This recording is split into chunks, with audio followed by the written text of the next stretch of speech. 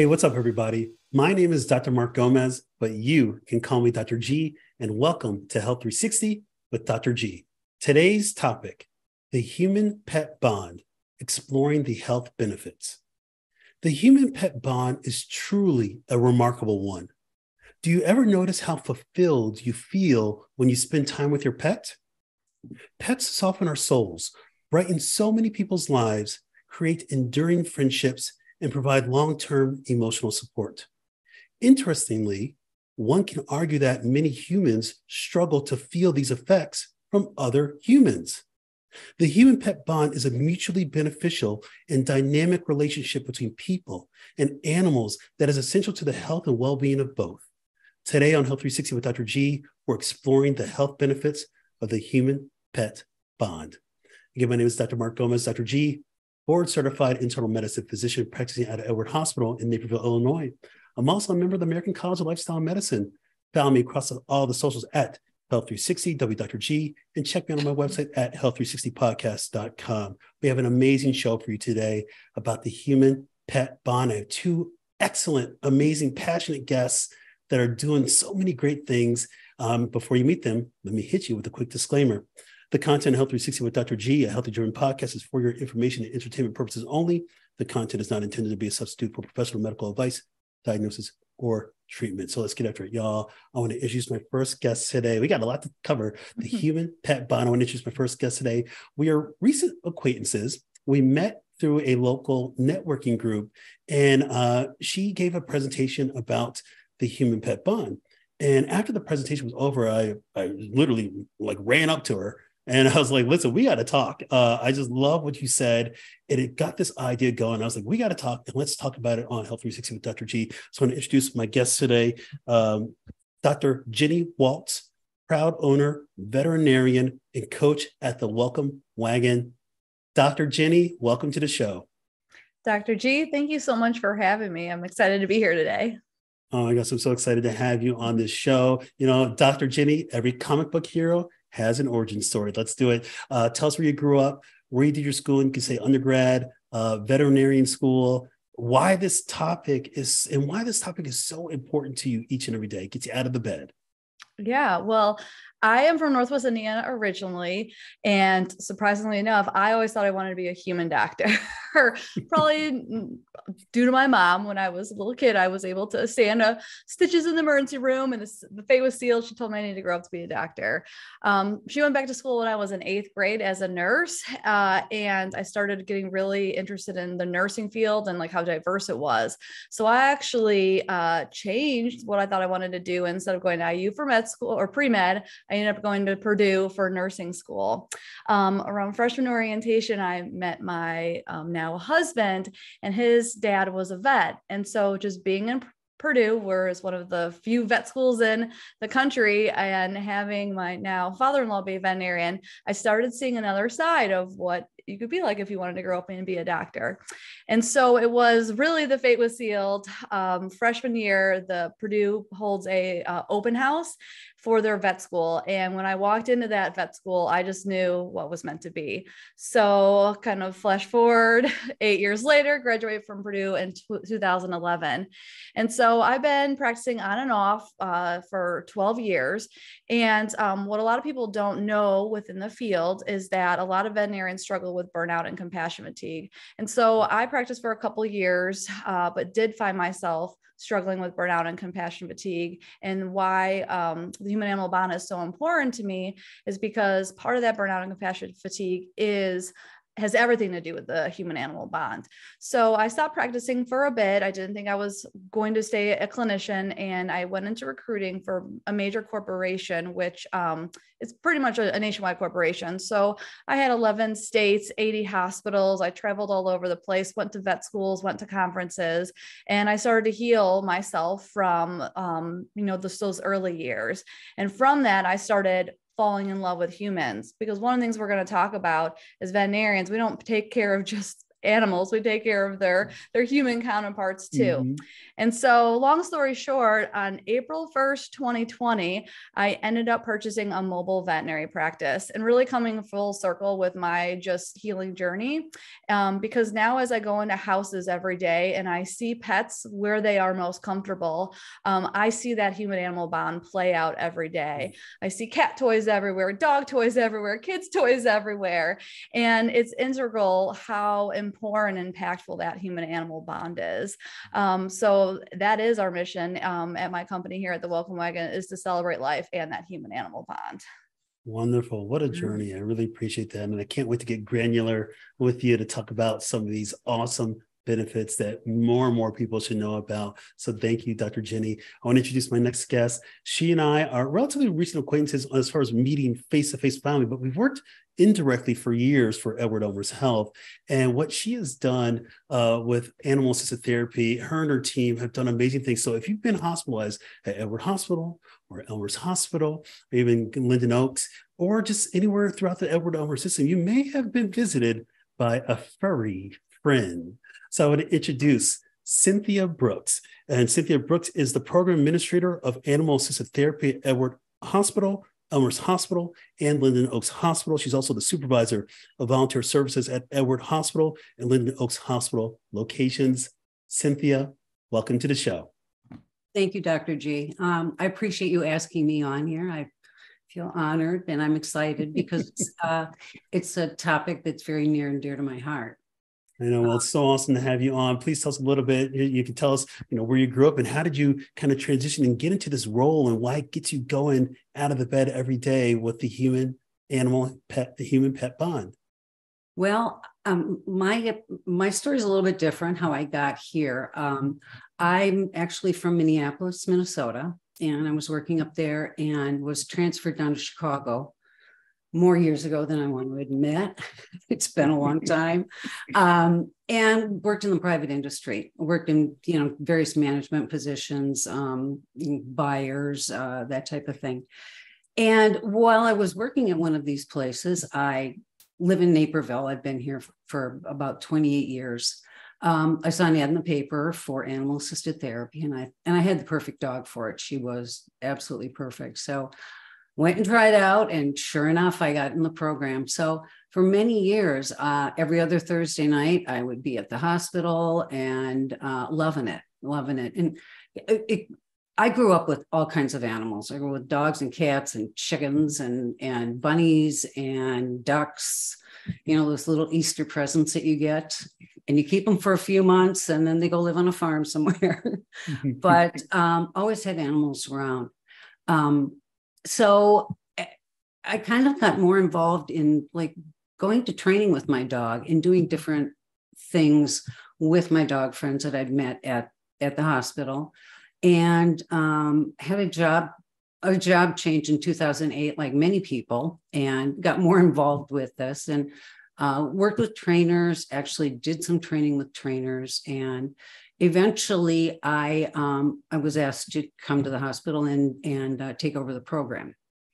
So um, that's what I did, and loving every minute of it. I also um, I also test dogs for a, uh, a a nonprofit therapy organization because all of all of our dogs have to be certified and to have a membership. So I go to work every day loving it. Wonderful. Well, it's just awesome to have you on this show today. Uh, can't wait to get more granular. So there you have it, everybody. You met Dr. Jeni Waeltz. You met Cynthia Brooks. Here's how the show works. I ask the questions. My awesome guests will give answers. I'll participate here and there where, where the answers are very easy and straightforward because uh, that's how I get down. But no, this show is for you. It's, gonna, it's such a fun topic. So when people come to the office, we call that the chief complaint. So the chief complaint, AKA the question of the hour is this what is the impact of the human pet bond? So, first question goes to you, Dr. Jeni. Here it is. I like it. What is, let's give a little overview. What is, or what are the top reasons for pet ownership? Yeah, so I would probably say the number one reason for pet ownership is that companionship um, piece of it. Um, especially as we came out of a pandemic, we saw so many people when they got trapped into their homes go out and get pets. Um, our pets give us purpose. Um, they help create just again a sense of where they want to live um, and what that well-being looks like for them. So i'd say a lot of um, people are going to look for that pet for companionship. Um, a lot of families are going to look for that pet because they want their kids to grow up with animals and we'll talk about some of that benefits as it leads to children.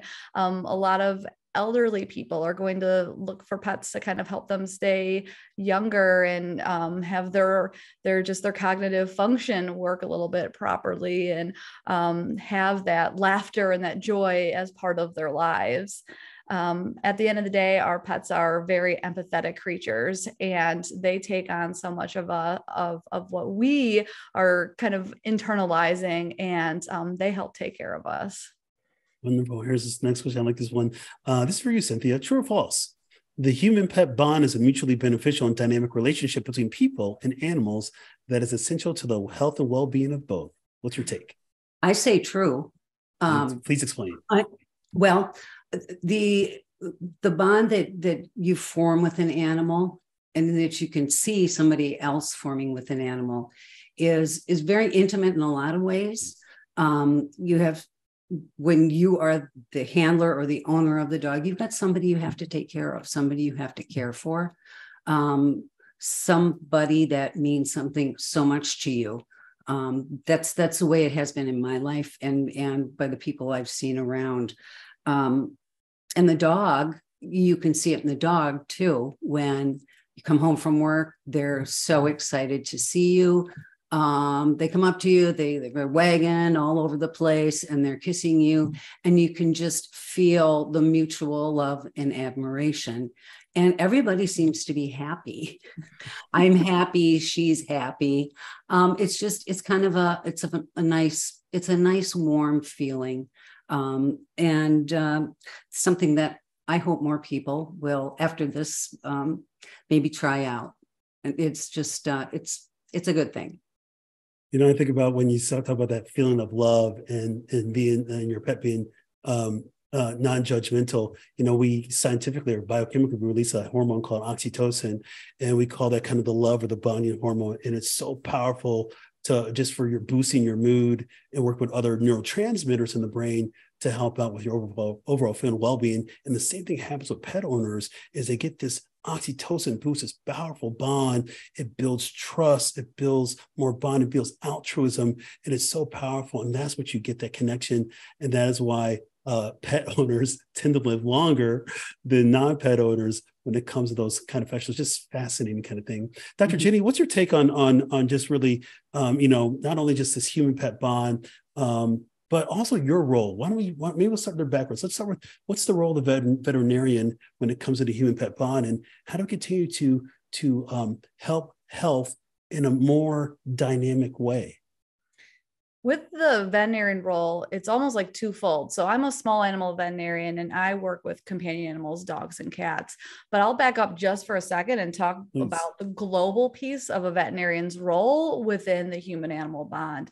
Um, a lot of people don't know how important the veterinarian role is to our biosecure, biosecurity and our food security within the, the world.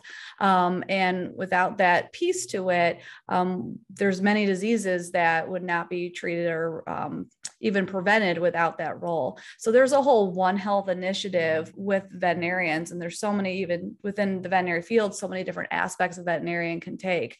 Um, I uh, was more drawn to that companion animal piece. So um, for me, it's the dogs and cats in that role. And so as a small animal veterinarian, I'm a general practitioner. I love multiple diseases and couldn't decide which one I wanted to focus on.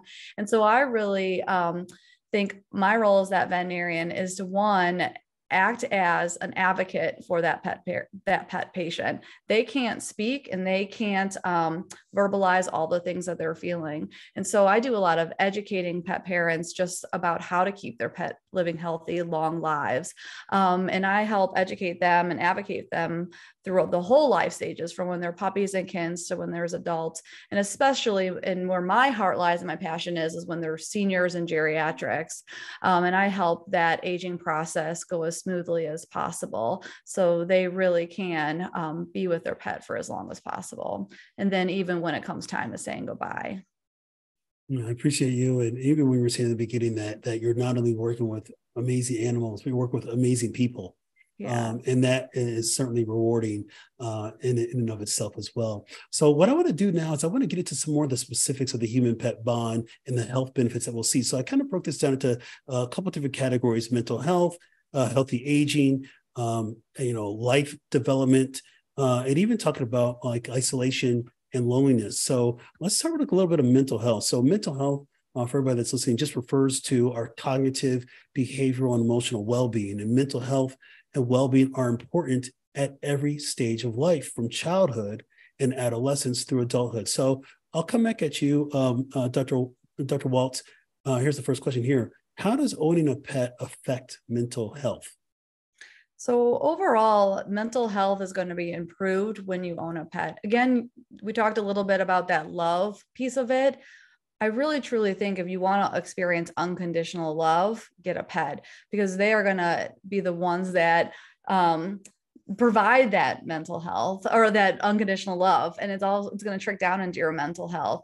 And so um, there are a lot of stories i hear about those who were really struggling with their mental health struggling to the point where they were almost suicidal. And so many times they never really completed that final act because they didn't know how to leave their pet behind. So I think that there are millions of pet out there, pets out there who've saved their owners from those deep dark days that were upon them. So it could be as um, as um, deep as a conversation as that, but it could also be as simple as a conversation of. Um, I once had a roommate who went through a really tough breakup, and I swear my cat my cat did not see me that whole year. My cat took care of her during that hard breakup.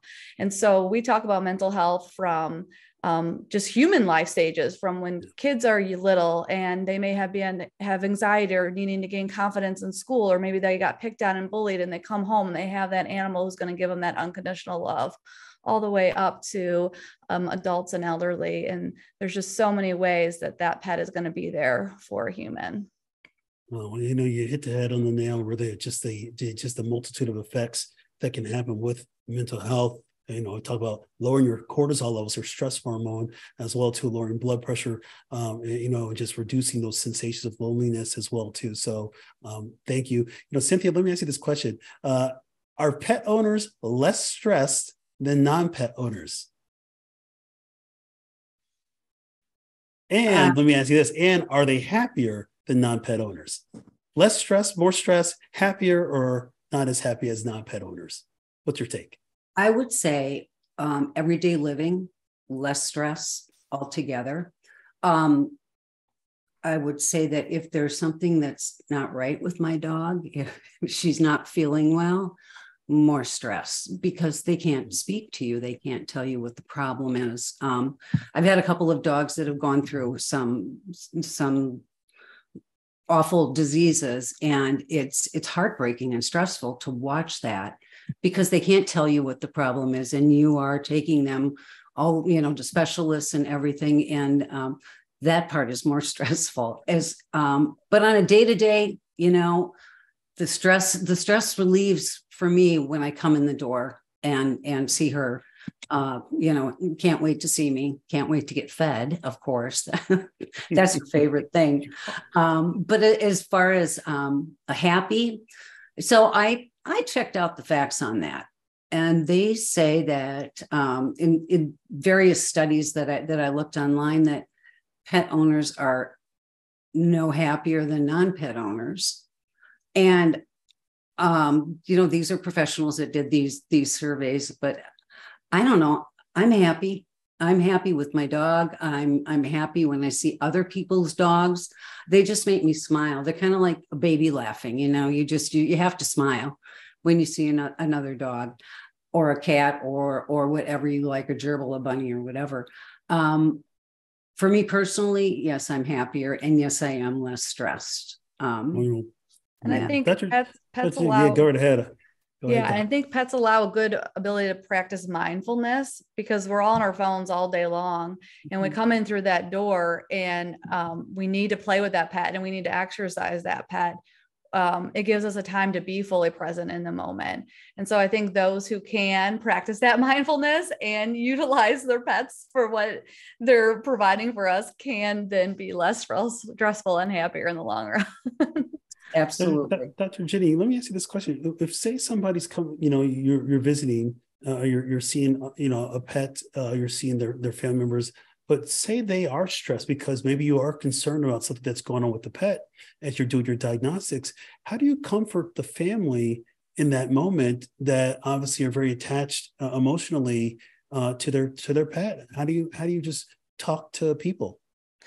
That's one of the things where you know i'll be honest a lot of the young like the old generation of training we, we weren't really trained on all that client communication. I know now in mm-hmm. schools they really are but there is so much part of our job that is advocacy and social work and veterinary social work is a study that's getting even more popular. But you know cynthia you're right when you're worried about your pet they are just like your kids where you're worried about it. And um there is you know there's diagnostics that need to be done and not everybody is going to go down that ro- route to find out exactly what is going on. Some people need the peace of mind some people don't need the peace of mind but that worry nonetheless is still there. And so my role and my team's role is to really be there to answer questions, to be as transparent as possible. In veterinary medicine, we do have to worry about costs. We have insurance, but it's not the same as human um, medical insurance. And so we have to have those financial conversations. Um, and, and that le- leads to another stress upon, upon mm-hmm. themselves. And so it's all through um, us, to me, is transparency education and support uh, is where when you find that relationship with your vet team you're going to get through those anxiety situations as best as possible. There have been times when i've certainly treated patients in my practice that have had um, uh, you know the the downstream effect of having um, health challenges of with their pet um, whether it's their pet that has been become ill or their pet that has has certainly passed away. And um, and uh, so for me to to see the people that I take care of, it's it's how I would support them. You know, you just just non-judgment. You you you have show empathy, and you just tell them that this is a safe space. Um, sometimes in with people, we have to uh, start therapy. Um, mm-hmm. You know, we have to be we have to be okay with talking about that. And we're we're humans. We're not robots. We're emotional people, um, and, and, we have to be able to comfortable talking about that uh, it's no different, and and it's no different than if we lose a loved one that's a human. Um, uh, the the attachment's so strong. I think I think I remember uh, Dr. Jeni, uh, you've talked about that um, before. It's like a wasn't there a term for that? Like when you lose your um, your first pet. Oh, so that's your heart pet. So okay. in, in your lifetime, you may have one or more heart pets, and that's that pet that you've bonded so well to that almost maybe no other pet will compare to it. But it's like that one pet that just it stole they stole your heart. Um, mm. And you know, I everyone almost ever, always has one. if you're lucky, mm-hmm. you have more than one. Mm let's let's talk about a little bit of healthy aging and how the human pet bond affects aging. And I'll the first question for you, Cynthia. But here's the, the, the kind of leeway. Uh, healthy aging is a lifelong process of making healthy decisions and lifestyle choices. So ensuring physical health at every stage of life helps us live longer and reduces the risk of illness, disability, and death. So, so Cynthia, let's start with you. Um, how does owning a pet affect physical health? Well, if you're um, if you're giving back to your pet what they're giving to you, you're you're taking them out for exercise, you're playing with them, you're being active with them, um, and that's good for our for our heart, for our soul, um, and it just uh, being really active. And they make you active. They say if um, if you're what do they say? If your dog's fat, you're not getting enough exercise or if you're fat, your dog's not getting enough exercise, either or. So um, it's very important to not only to exercise them, but to to play with them, to to do what they like to do. Um, there's studies, of course, on on um, the effects of having pets with um, with people with heart disease. They found that that their their um, their cholesterol was lower, their blood sugar was lower, um, and their their their cardiac fitness was better. Um, there's plenty of studies on that on um, uh, on that uh, with dogs and pets, um, and I and being happier. You know, mm-hmm. the the whole depression thing, the whole uh, dopamine and serotonin. You know, they they bring that out in you to make you happier. Yeah, I will say that the American it's true that that there's plenty of studies out there from cardiovascular health. American Health American Heart Association, actually, their scientific statement um, does connect pet ownership to the prevention of cardiovascular disease. And so we've seen like uh, it's actually interesting. There's studies of all pets, dogs appear most likely to have the positive influence on physical activity. So sorry, uh, snake owners out there um, or bird owner, bird, bird owners. Uh, I was trying to be funny, but I guess mm-hmm. it's not really that funny, but that's all right. Uh, it's like, Meow. and cat owners, yes, you can do stuff uh, as well too, but dogs tend to be the best. And then we know that dog owners typically engage in more physical activity uh, than per week than do non uh, dog owners. So there's no doubt about that one.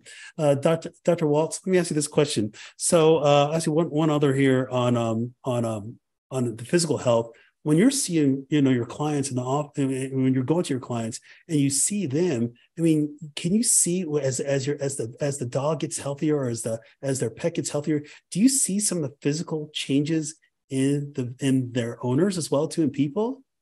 Oh yeah. I mean anecdotally i would say so many pets mimic their owners. Um, and in our pet population our um, our dogs and cats are obese and overweight. And so when we work and like put them on calorie counting plans oftentimes they'll come in and be like look you know my dog look, lost weight but i lost weight too. And you know they kind of could they do it together. And my professor always told a story of um, when he was a fourth year in vet student, his cat started urinating outside the box and he tried all these things and, um, you know, it wasn't really working just yet. And then when he graduated and he moved away and his, his pet was fine. His cat stopped doing it. And it was like his, she was picking up on his stress. Mm-hmm. And so a lot of times when I do think when our pets are not as healthy, it is a conversation of what's going on in the home too. Because a lot of times, if a human's not healthy, these animals are taking on some of that that part, and it's playing out in different roles as well, um, which is awesome when I'm doing house calls and I can have those one-on-one conversations. Wonderful. Let's change topics here. Let's do a couple more of these. Let's talk about the human pet bond as it relates to um, uh, development, lifestyle development, child development, and through life. So, the human pet bond provides benefits to health at every stage of life. And research demonstrates a positive influence on such a bond on a child's physical, social, emotional, cognitive development. So, here's the first question for you, Dr. Dr. Uh, Waeltz. How can pets promote healthy social development, social competence, and self esteem in children? So, I think one of the biggest things that um, happens when kids are around pets is they learn self-esteem and self-confidence um, they learn a development of trust again that unconditional love that that best friend that they have that they could go talk to at any point in time um, and then it also helps them with the nonverbal communication, compassion, empathy, all of those different things that they get to learn from their pet. And then I think one of the biggest things that if pet or if parents are willing to talk to their children is pets do teach us the circle of life. Um, I think that is one of the most difficult things any parent, even when they have college kids, deals with is how do I include or tell my my child that their pet is then coming to the end of the life and we need to make that decision. And so they are one of the first um, times they're going to learn about grief and loss and everything like that. You know, back in the day when we were in school, we had a um, this is back in the 80s for me, but but we had the pet uh, uh, hamster so I have a question for you, Cynthia. So uh, are there social, behavioral, and academic effects of having pets in the classroom? What's your take on that? Well, um, it's kind of interesting because uh, talking about the the dogs um, or or uh, how children deal with pets and animals, being able to speak to them, being able to share with them. Um, they uh, what I've found was they find that um, pets in the classroom may increase their social skills um, they, and competence. And um, I've seen it firsthand when I've taken my dog to a, a school with uh, with children that may have reading problems. they may stutter, they may whatever. And they sit next to my dog and, and read a book to my dog like there's there's nothing wrong. They they feel, I think, safe talking to a dog where they may not feel safe talking to a person, a dog or a cat or whatever is in the classroom. Um, and I think that they have they found that it it has decreased their uh, their social poor social behaviors and and increased better social behaviors with pets in the classroom. Um, it's uh, it's kind of magical to watch when you see kids with dogs there, or I suppose with with gerbils or hamsters or whatever. There's a sense of caring for them because they have to t- they have to take care of them um, these smaller animals. I, I, remember when I was in school too. You know, this one, this one has to feed it this day, and then somebody got yeah. to take home over the weekend. Yeah. So it's a sense of responsibility, and and learning how to take care of of someone other than yourself, taking care let's of. Talk, let's talk one more one more broad topic here, and then we're gonna get into some FAQs and then some myths facts. But let's talk about we got to talk about depression. We got to talk about loneliness as well too. So I'll set it up so, social isolation and loneliness are growing public health epidemics. And uh, flashback to check out my episode number three of Health 360 with Dr. G when I discuss the topics of social isolation and loneliness in adults. More than one third of Americans older than age 65 and about half of those older than age 85 live alone. And research shows that social relationships, both quantity and quality, profoundly affect mental and physical health. So, Dr. Waeltz, here's the question can the human pet bond decrease loneliness and depression? I definitely think so? I definitely think it can. And again, that is that goes back to that companionship. It goes back to um, really the sense of purpose. So, you know, when someone is struggling with depression, when they are struggling with loneliness, and they're even just having difficulty getting out of the bed every day because they have to take care of that pet, it almost is like that driver for that purpose. Um, and it's one of those things where um, and I'm sure in your, po- in that podcast episode you talked about you know the percentage of people who live alone um, and how preva- prevalent loneliness is, especially in, in our elderly community. And having someone, you know, it's funny how you catch yourself talking to yourself and it's just talking to your pet, and it's just those little things like that that just help um, take the everyday and give it purpose. And then Cynthia, let me ask you this question: Should more doctors' offices healthcare facilities incorporate pets into their treatment plans? What's your take on that?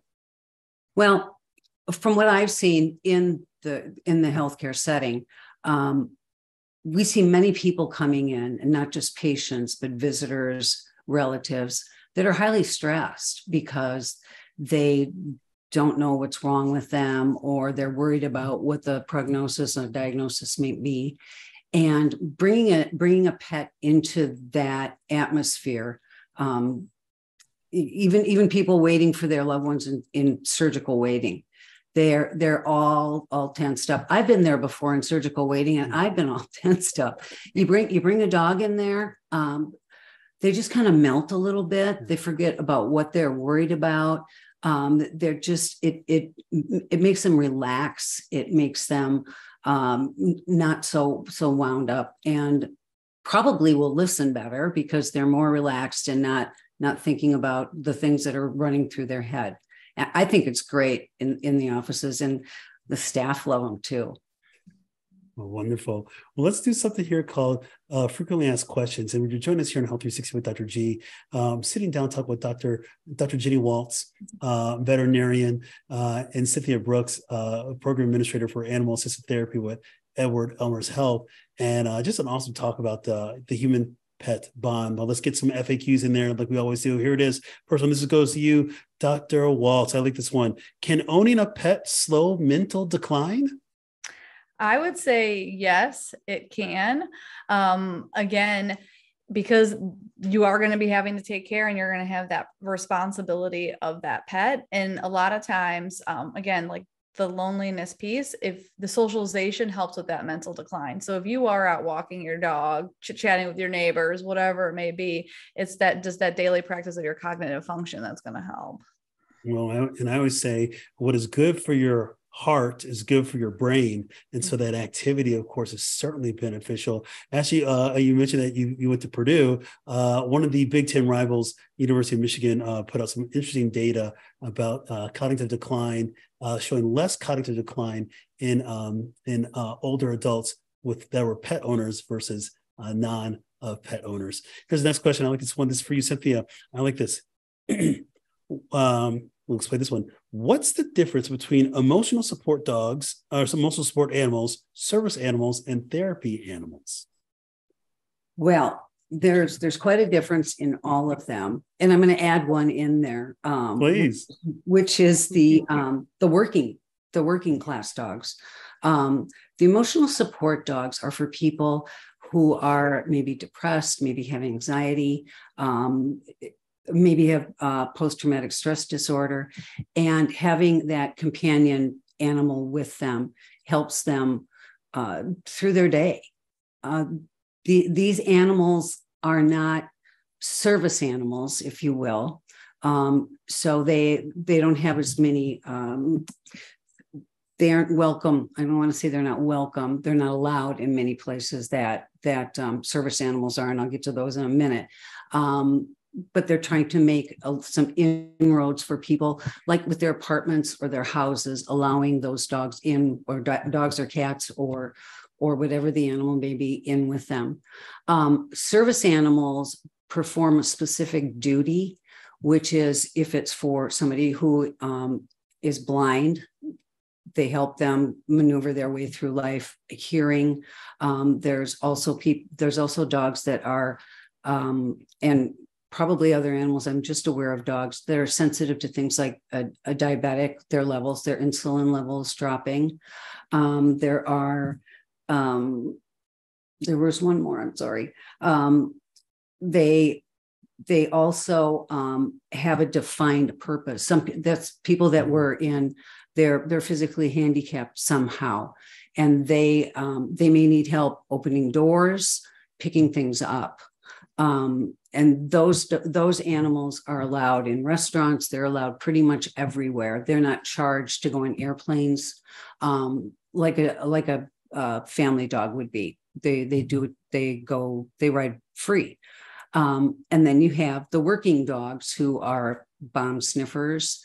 They are cadaver dogs. They they go to places like the world trade center and and find um, human remains um, there are dogs that also, and I just learned this. They're allergy dogs that will go go out and see if there's an allergen, like a peanut allergen in an area, um, which I think is pretty cool too. And then you've got therapy dogs, and therapy dogs. Um, there's animal assisted therapy dogs who actually help with some issues medically psychologically. Um, they are used as um, used in a group setting in a mental health facility. I've been I've been involved with that, um, and they we've also had dogs that go for maybe very sensitive uh, f- physical examinations of children where we need a distraction for them. Um, and then there's the animal assisted therapy dogs that that we also have in our group that just go to make people happy. Yeah. They they come to brighten their day they they might be feeling really bad because of it, it could be a staff member and it could be a patient and they're just there to make people happy. Awesome. All right here we go. Dr dr Waeltz i like this one here's a question for you. Uh, what should i do if my pet and family member, member can't say it. Let me say it again. What should i do if my pet and family members are not developing a bond um, aka like a birth of a new baby a new blended family etc with their pet so, number one, you need to consult with your vet about this situation. Do not go through that process alone because there's going to be many times, whether there's the birth of the new baby, whether it is blended family members, maybe your pets are moving in with their pets. There's a lot of different ways that we could talk about that. Um, and then a lot of it does come down to trying to anticipate this as much as possible so that you could be ready for that part. Um, and so it, there's a lot of training that needs to be involved um, if it's needed. So again, ha- knowing like areas where you can get dog training but dogs also dogs or cats they need a safe space so they need a place in their home too like it's not just your home you've invited them into your home cats um, just a general rule of thumb they need a thousand square feet per um, cat. Um, and so like you could have areas where it's like you have cat trees cat things higher up that adds more square space to the footage. So cat they're going to want to jump in their crib. I've got pictures of my cats jumping in the crib and if that may make you nervous and then there's all live tails things like that. But um, they're just going to be curious dogs um, they usually they are cave animals so they will need like their little safe spot. So part of it is um, allowing them and understanding animal behavior first um, asking us trainers questions vets questions things like that and then taking it slow and then knowing that there could be friction and bumps along the way. Mm. but most cases they're going to work themselves out and so patience is also a big thing too all right. Cynthia, let me ask you this question. What do you do? Maybe a, a flip flip side of thing. What if somebody hasn't had uh, a lot of experience with an animal? They're not well versed in, in being around pets. How do you ease them into that human pet bond? Well, when we are visiting people, um, many times their children will sign them up for a pet visit and they didn't want it. so we try to we try to go in as graciously if they don't want to see us, that's fine. Um, we tend to keep the dog away from them, um, just kind of talking slowly. We we we talk to them about their day or or their life, or if they've ever had any dogs or cats or whatever. And it's kind of a slow thing, and you have to you have to pick up on what what their vibes are, uh, what the people's vibes are. Um, and and it also works the other way around as well with with dogs sometimes there just isn't isn't that connection there so you don't you just you you talk to the people you you make conversation with them and um hopefully nobody's feelings get hurt but sometimes that's that's just that just happens sometimes and let's do two more of these FAQs. I like this one. This is for you, Dr. Waeltz. Uh, if someone does not feel ready for pet ownership, but they want to um, learn more about pet ownership, are there other ways that they can warm up to the process before they become pet owners? Yeah, so I think, you know, doing research is really important, especially when it comes to dogs and the various dog breeds that are out there. So that is, you know, pet relinquishment is a big problem um, in the United States. And so doing that homework really will help stop that or prevent that from occurring even more. So there's different ways of like getting involved in like the community involvements that have dog areas where you can go spend time with dogs, working with fosters and shelters where you can do meet and greets. I know so many people foster first and they're like, I'm a foster mm. fail. That's a great way to start getting involved because it gives you that peace of mind that I'm not going to mm. relinquish this pet if it doesn't work out. Um, and you do that, could do that. Um, with mm. cats, oh gosh, I was just in Charleston, South Carolina, and they had a little cat cafe. And I know there's one in the, Chicago cat too. Cafe. And it's a big cat cafe. It's a big um, thing in Japan is cat cafes where there are literally cats that are up for adoptions and you could do your it's almost like a working area where you could go hang out, read a book, work in some drink some coffee and let spend some time with cats. So if you live in an area that can't have animals, there are still ways to spend time with them. Wonderful. I'm thinking, by the way, as you said, like in the home, the cat a cat needs a thousand the thousand square feet. I'm thinking about these uh, cafes where it's like cats are like all over the place. You're trying to drink a latte. Uh, that sounds awesome, though. Thank you. Let's do one more FAQ, then we'll get to some myth versus facts. This is for you, Cynthia. Do we know the answer? Here's a question: Which animal has the strongest bond with humans? Do we know the answer to that, or uh, Cynthia? I, I think that's a very personal Mm. A, a, personal choice. There, there are lists. Dogs top the list, I think, because they're the most popular, and then comes cats, um, and then fish. I think are in there, and bunnies and gerbils, and even chickens, mm-hmm. which, you know, the chickens are very intelligent. Um, there, there was a list with snakes that not my thing, but many people may may like them. I think it's just what your own personal preference is. What do you think, Dr. Waeltz? You think so too? Personal preference? Oh yeah, I'd say it's just so surprising the mm-hmm. amount of like various species out there that even dolphins like bond with with um, people um, and elephants, horses, things like that. So it is definitely, you know, here in the US, what we're used to, but um, you'd be surprised at those relationships among even the crazier species. There we go. It is what it is. You got to do it. Let's do this here. Let's do. Speaking of doing things, myths versus facts. We do this on each episode of Health 360 with Dr. G. I'll say a statement. My awesome guest will say uh, the whether it's a myth or a fact. We're going to go through this like like boom, boom, boom, boom, boom. We'll keep this thing moving. This is awesome. Here we go. This is for you, Dr. Walt. Start with you. Myth or fact? Please explain. Owning a pet has mental and physical benefits. Myth or fact? Please explain. Uh, definitely um, a fact. Those a lot we alluded to. It lowers blood pressure. It helps you stay in shape. It helps your cognitive function and ability, um, and then it overall affects your mental health. All right, here we go. This one's for Dr. G. I'll actually participate in one of these things for, for the first time in this episode. I just joking. But here we go. So this is for Dr. G. Pet ownership reduces U.S. healthcare costs. And the answer is fact. Uh, about 85 million U.S. households have pets, um, uh, according to the HABRI Foundation. And actually, pet ownership has saved the U.S. healthcare system an estimated $11.7 billion. And that was determined based on lower incidence of physician office visits by pet owners as compared to non-pet owners. And additional savings were actually calculated for increased physical activity for pet owners, such as dog owners who walk their dog five times or more per week. All right, Cynthia, I like this one. Here it is. Myth or fact, please explain. Pets provide security during times of stress. Oh, I think absolutely that's true. Um, your your pet is is a non-judgmental, unconditional, loving animal, and and having that type of relationship brings brings my stress level down i'll tell you that much. Um, and i think it, it does that for the general public as well from studies that i've seen.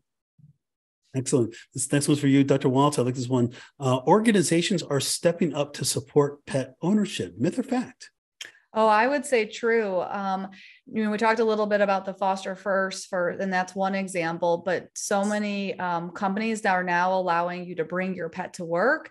Um, and as we come out of that post COVID era, is like people don't want to leave their pet. So companies are letting you bring their pet to work.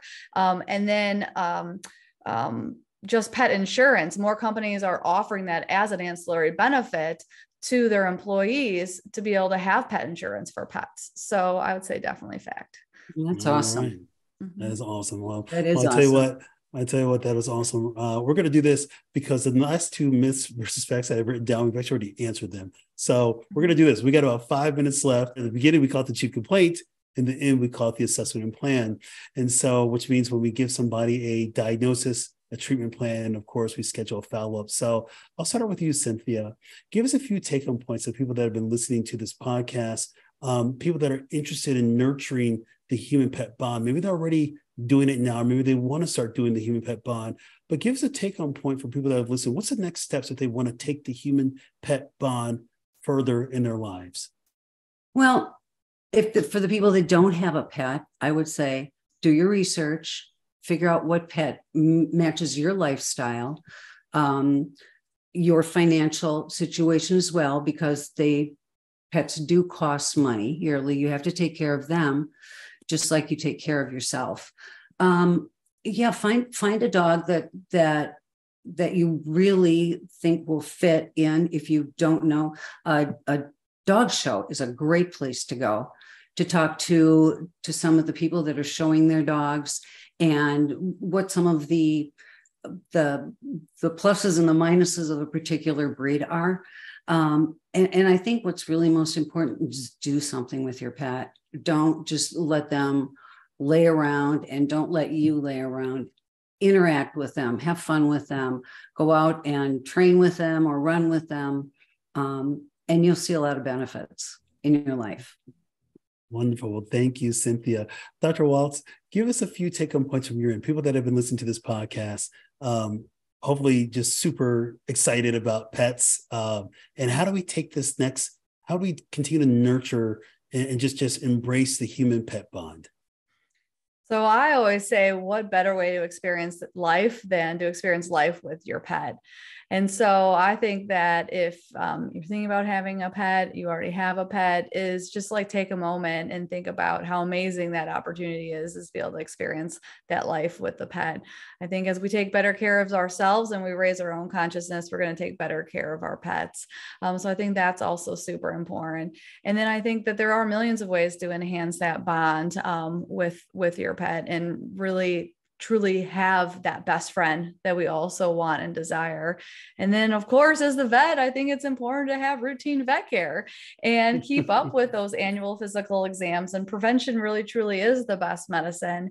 And by having a great relationship with your, your veterinarian, you are going to be able to slow disease processes down, detect disease processes faster, um, so your pets can live longer, healthier lives. I appreciate it. Well, thank you, Dr. Waeltz. And before we get to my final thoughts, we do a section here on Health 360 with Dr. G called the Listener Healthy Oh Yeah content. And uh, this was, I'm going to frame for you, this was a response to something I put on the socials about what kinds of activities do you do to restore yourself physically and mentally. So here's a quote from loyal listener JG I love road trips, flying, and getting away for a few days. Uh, well, thank you, JG. I always enjoy hearing about your journey, and with your permission, I'll read it on the show. Simply message me across all the socials at Health360W and who knows, your story may be a catalyst for someone else who needs to hear it. And my final thoughts are this the human pet bond is absolutely a mutually beneficial and dynamic relationship between people and animals that is essential to the health and well being of both. Science supports that the pet effect is real for people of all ages and pet ownership has many health benefits. However, you don't need research to see for yourself that life changing experiences happen when pets are in your life. Just ask any of the 85 million households in the United States that have been enjoying the health benefits of the human pet bond each and every day. So I want to thank my guests today, Dr. Jeni Waeltz, proud owner, veterinarian, and coach at the Welcome Wagon, and Cynthia Brooks, program administrator of animal assisted therapy at Edward Hospital, Elmhurst Hospital, and Linden Oaks Hospital, also the supervisor of volunteer services at Edward Hospital and Linden Oaks Hospital locations. Thank you both for coming on the show. Thanks, Dr. G. So I enjoyed Dr. this. G. Yes, I oh, my too. pleasure. And I can't wait to catch up with you both soon. Hey, everybody, you've been listening to and watching Health 360 with Dr. G, a healthy driven podcast. This episode is written by Mark D. Gomez, MD, and Tiffany E.R. Gomez. The producers are Tiffany E.R. Gomez and Sarah Zwack. Audio and video production specialist is Mike Paskey. Copyright 2023, Edward Elmhurst Health, all rights reserved. For more awesome health information, visit me at health360podcast.com and follow me across all the socials at health360w Dr. G. This is Dr. G signing off. And until next time, peace out.